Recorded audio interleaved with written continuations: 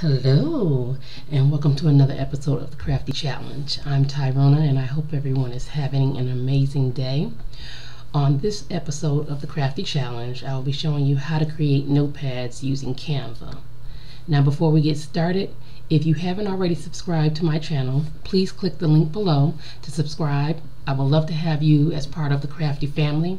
To everyone that has already subscribed, thank you for joining the family. Okay, let's get started.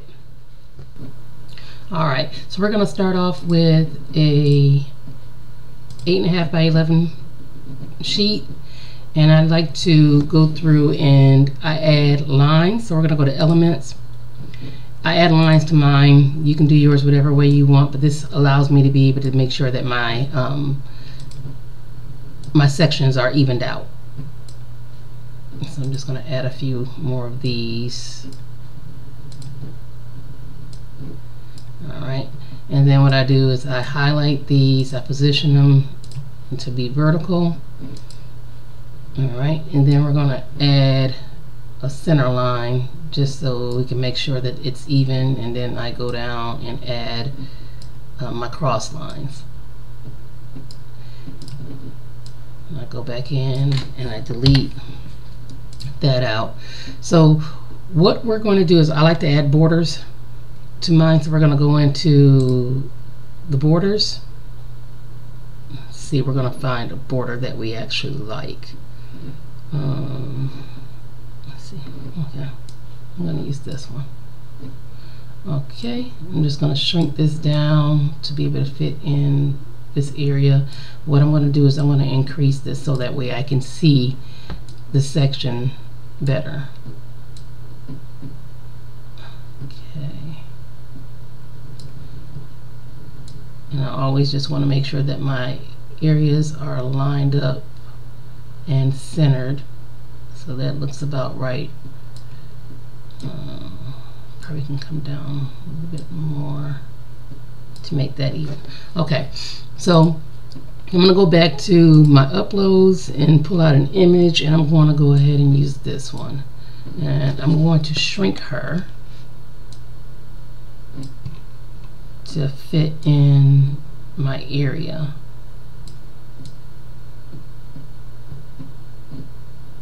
And you can do this whatever way you like. Make her as little or as tall as you want.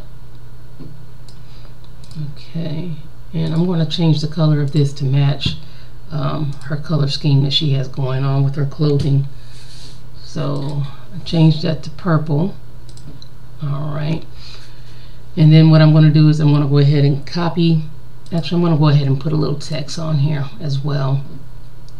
And you can find different text here, or you can go back to um, go back to more and it's actually not here now. Oh, sorry, styles. You're going to go to styles and you can go to fonts or you can go to colors and it'll give you the colors that you want that matches together or you can click font and you can go with some of the fonts that they have matched together. And I'm going to go ahead and use this one.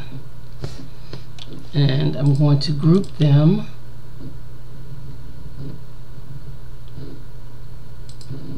I'm going to group this one, I think, because I might keep both of these.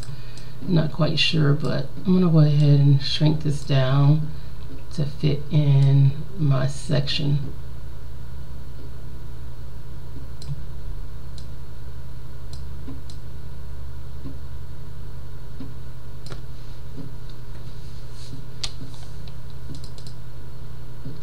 Let's see. I almost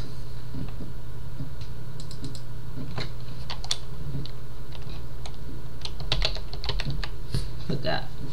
And I normally just come up with something just to put in there. Okay.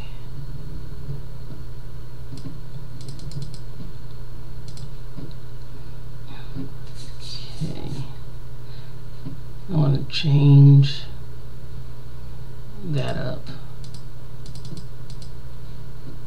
as well.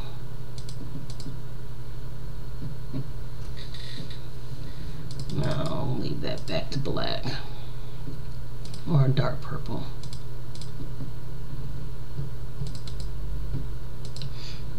Just pick a fool around with it, you know, do whatever you want to do with it. Okay. So I want to leave that and what I'm going to do is I'm going to copy it, duplicate it, and I'm going to bring it down. I'm going to duplicate it again. And I'll bring this down as well. And you just want to make sure that it's even within your section. it Doesn't have to be perfect, but you just want to make sure that it's even. Um, all right, and so for over here, I like to utilize my pages so that way I get more out of my page. So I'm going to divide this in half as well. And I'm going to make a notepad, a bigger notepad with this one. So again, I'm going to copy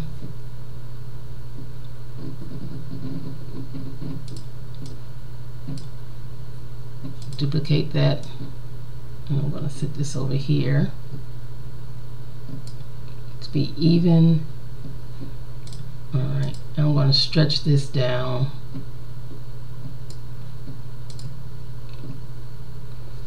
And you can do whatever you want. I'm going to make her bigger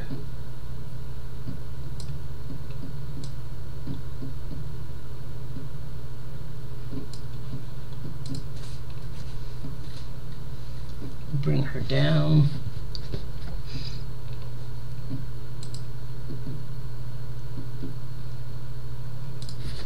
Okay, we're going to change this up. So we're going to ungroup this.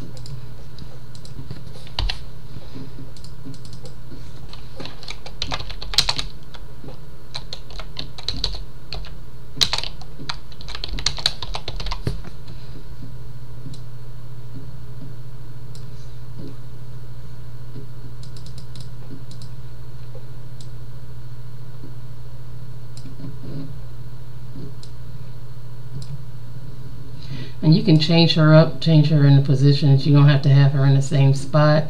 You can move her around do whatever you want to do with it. I want to put her over on this side and then I want to flip her.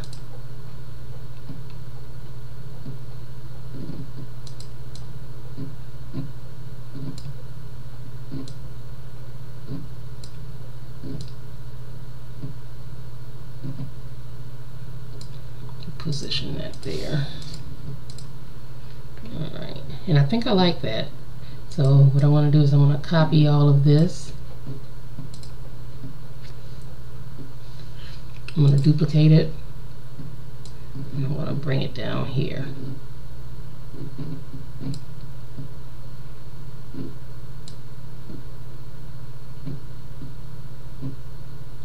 Okay. I think that's about even. Alright, so I'm going to shrink this back down. And as you see, we have three here, three small um, notepads here, and then we have two larger ones on this side.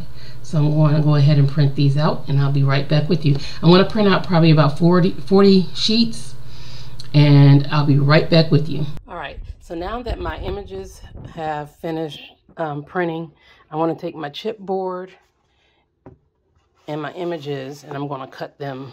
I'm trying to do this one, one with one hand. I'm sorry, guys. Um, I'm going to take my chipboard and put it behind so that way it comes out even. All right, and then I'm going to put it in my cutter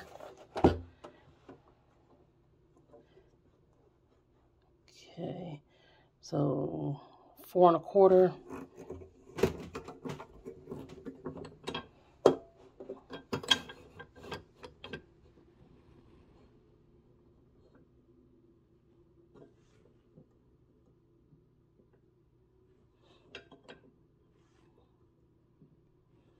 so that way it comes out correct.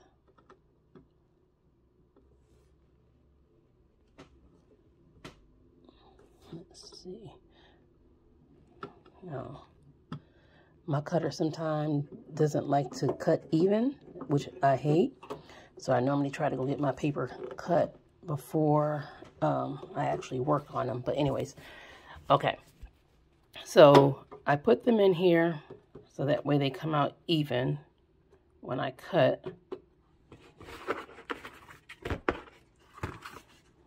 I don't like dents that sometimes comes in the paper when you clamp it. So I normally use my cardboard to um, keep it from cutting. All right. I'm trying to give you all the ins and the outs of everything, my step by step for everything that I'm doing. Okay. I'm going to clamp it, and then I'm going to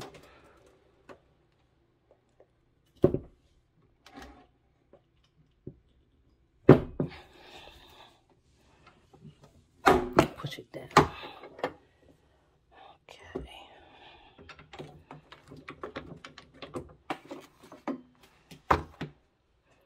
So that's that one.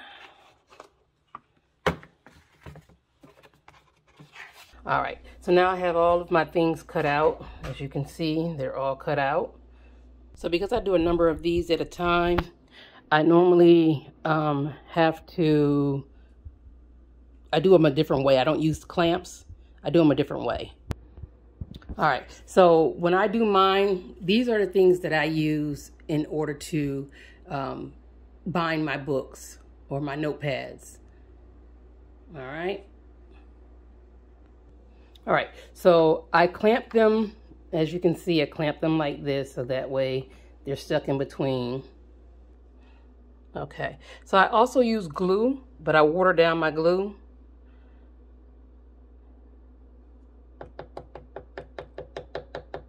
So that way it goes on better. Now I do do two um, of these and I just brush mine on.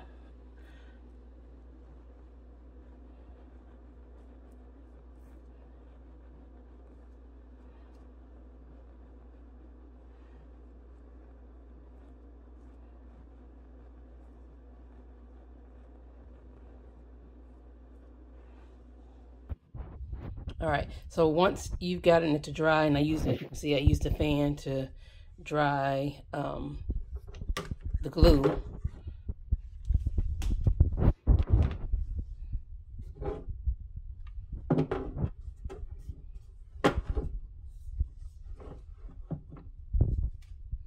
Again, trying to do this with one hand.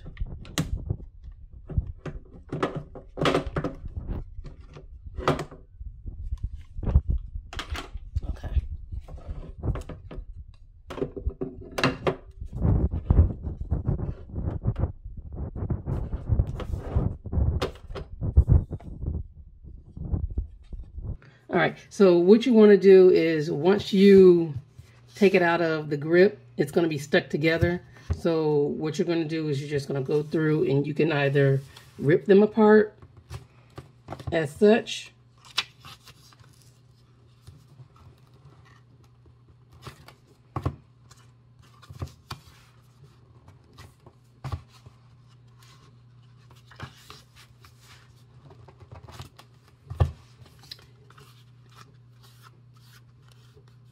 You can just scrape that stuff off or take a um, X-Acto knife and remove that. But this is what you wind up with afterwards.